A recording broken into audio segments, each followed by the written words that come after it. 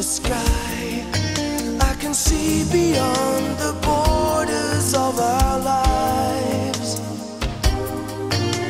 No more fighting, no more taking sides. Now I'm standing here with both arms open wide.